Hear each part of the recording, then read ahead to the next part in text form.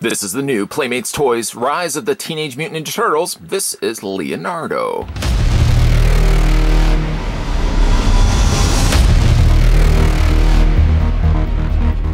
This red-eared slider, Leo is intelligent and quick-witted. He uses his sharp skills to beat opponents, finds shortcuts around obstacles, and always knows the perfect time to land one of his many one-liners.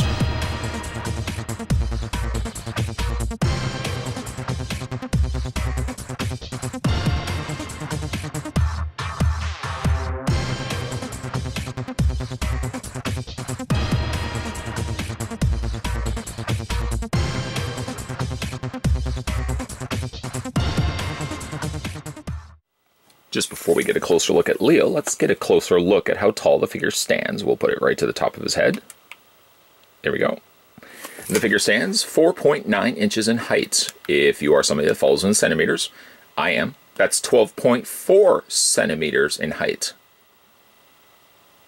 The figure comes with some pretty cool looking accessories. We'll look first at the pair of shurikens that come included with it.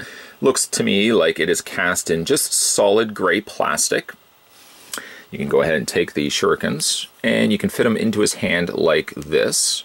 Or you can also wedge his fingers, and this is kind of cool. You can kind of have them arched or posed like that.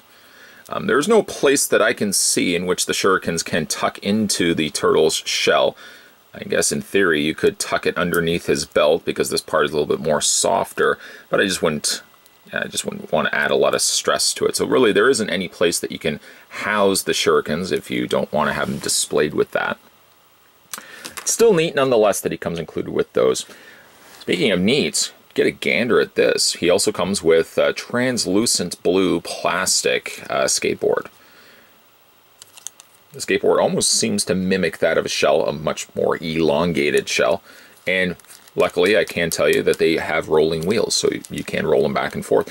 This, in some ways, serves also as a nice display base if you want to display the figure on top of it. It's not to say that Leo has any problem standing. I mean, you're looking at him. I'm looking at him. I can see he's clearly not going anywhere. And then watch, of course, irony. Figure gets blown over. But no, the figure stands perfectly fine. But he does come with a really neat looking translucent uh, skateboard. He also comes, speaking of translucent, he comes included with this translucent blade. His weapons include an Odachi sword. I'm looking at the two, I'm trying to gauge whether maybe they are the same similar type of sword, and one just is simply a little bit bigger in size. This one here is translucent, and as you can see, has a nice flame effect whoosh, whoosh, that uh, you can pretend like Leo is slashing with. Um, but again, very similar looking design, right down to the hilt itself. The hilt actually is very identical to one another as well, minus the hair. I just I included that. There is theoretically a place where you can display the sword on Leo, if of course you don't want to display him in his hand. There's this little clip on the back. Now, the way that they put the clip, the clip could have really been afforded to be raised a little bit higher. If it was like right there, it wouldn't be so bad. Because when you attach it, unfortunately the sword runs really low on the figure. It's even more apparent when you get the translucent sword in place. Again, you can plug it in place like there. You could, I guess in theory, plug it up that way as well. But again, you're going to see this big noticeable sword sticking out. So I kind of wish that the clip was moved a little bit further up. Even if you're taking the smaller Odachi sword, I guess you could put it right there, but I mean, that's adding a lot of stress to that clip. But it, that would be appropriately the right, the right space that I think the sword should have been placed at. Uh, both of the swords can be attached into his hand. I guess I wouldn't want to use the term attached. Attached implies for me that I'm, I'm pegging it or plugging it somewhere, but it does fit very comfortably into Leo's hands. One looks a little bit, obviously, a little bit more noticeably larger than the other. This one's a little bit more accurate to size, but I really do like that they give you these translucent weapons as well, and it seems across the board that all the turtles are going to have that as well. Uh, put the accessories aside. We'll just put those right there. Let's have a look at Leo. I'm actually digging the cartoon, I have to admit. The animation style for that introduction into the series, I found, found it was a little on the jarring side, but I really warmed up to the animation style. It sort of reminds me of Samurai Jack. Like the different take that they put on the turtles. And much like the show being so drastically different than what we've seen in previous incarnations of the turtles, each of the turtles are also very different from one another as well, which is the first time I think we've really established that each of the turtles are so different from one another. This would explain why Raphael is so much bigger and broader than, say, the likes of a Donatello, and of course why Mike, Michelangelo is always seeming to be much shorter than the other turtles. Now, for Leonardo, he's a red eared slider, which I think one of their notable traits is that they have a very long sort of shell. And Leo certainly de- definitely does have that. These figures are very colorful. Playmates has spared no expense when it comes to certainly uh, detailing the all the little intricate pieces and sections of the turtle. Um, even on the side, now I don't know what's happening here on the side, whether this should have actually been painted. This here, I think, is a more beige color in the show, or almost like a brownish color.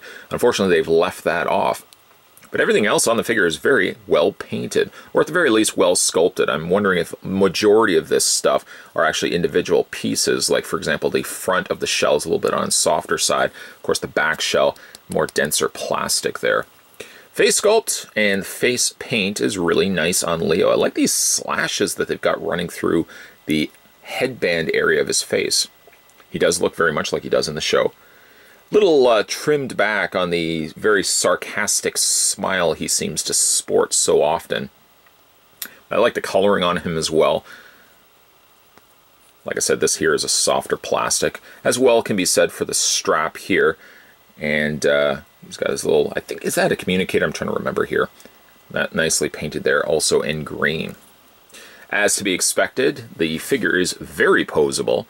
Uh, one thing that also Playmates does a good job for, for certainly at least the Turtles toys, is they really do make them highly posable. Loving, again, the sculpting there on the shell. But uh, posability on this guy. His head rotates all the way around. Hinges up and down. Essentially what it is, is there's a ball joint. Let me just show you here. See, right there. Didn't believe me? It's right there. Big ball joint. Big ball joint leads to the socket. Pop that into place. Ball joint certainly is one of the most affordable, if not also one of the best universal joints to be using on the figure, so I'm glad they, they maintain using those uh, for the heads for their figures. Uh, as for the shoulders, the shoulders are on a socket hinge, or at least a universal hinge in which you can move the arms out, and you can rotate the arms all the way around. Gets a little on the stuck side when you are moving it back to the shell. The shell kind of blocks a little bit of the, motion, the movement back. But at the very least, you can move the arms out.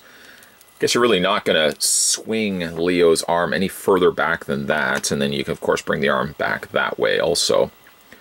Um, he does have a swivel on the forearm, which also allows the forearm to bend via the elbow joint there.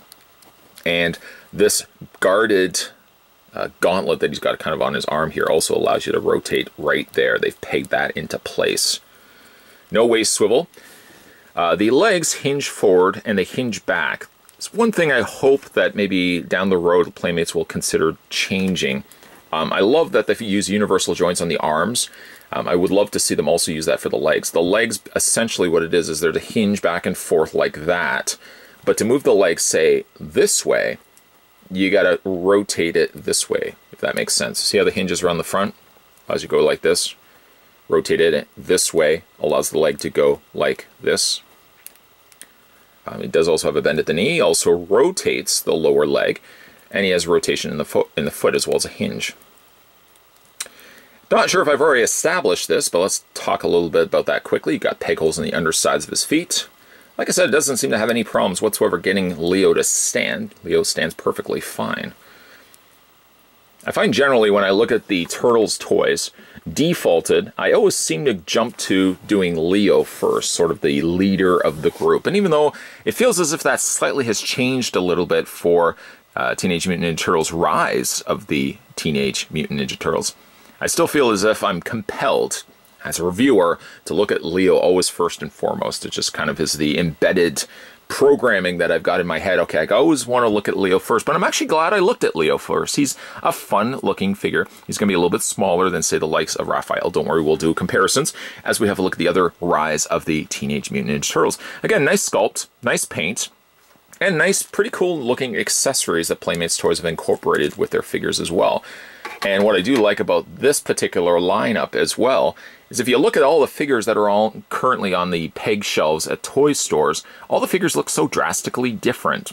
And uh, that's one thing I do like as well. Like you'll have the really, really big turtles, like say, for example, I think Meat Sweats, what an awesome name, is a considerably bigger figure. So you'll have a much varied different scale. None of them are all going to look identical to one another. And as much as the appeal of the cartoon, that's also the appeal of this toy line as well. Those looking to pick up Leo from the Rise of the Teenage Mutant Ninja Turtle toy line, good news, him and the rest of the clan are now available in local toy stores and retail stores alike.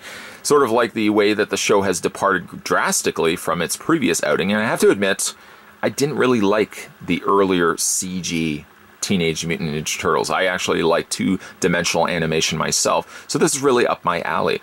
The animation style, I have to admit, is something that takes a little bit to get used to, but once you do, it's a fun, action-packed thrill ride. It sort of like kind of reminds me of Samurai Jack. Maybe that's why I like it so much. Um, Playmates has done a good job of capturing, of course, the likeness, and they've always been really good at doing that, capturing the likeness of the turtles and translating it to plastic form. And I think Leo looks really neat. He's got some cool accessories, and uh, certainly he's going to be a very different looking turtle from the other three brothers, so I'm looking forward to getting those opened up as well. In the meantime, though, Today we were having a look at the Playmates toys, Rise of the Teenage Mutant Ninja Turtles. I have to keep remembering to say Rise of the Teenage Mutant Ninja Turtles. Today we were having a look at Leonardo. Like I said, stay tuned, bunkos, because we're going to have a look at the other turtles as well as the other rest of the characters that make up the new Playmates line. So if you like turtles, hopefully you'll like the upcoming videos coming to this channel. One thing though is ever so crucial, make sure you hit that little subscribe button that's just below this video. That will guarantee you that when new videos are coming to this channel, you'll never miss out. And as always guys, thanks for watching. I'll see you next time.